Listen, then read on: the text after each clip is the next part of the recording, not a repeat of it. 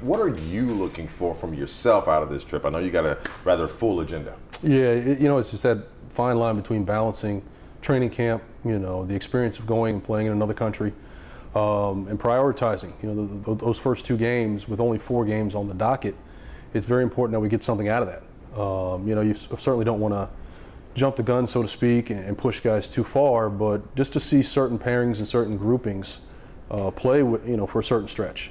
I think that's important. You know, see how the, the chemistry and synergy, see what that looks like, see what works, um, and that will give us a, a, better idea as we get into games three and four, um, you know, leading into our opening night, October 19th.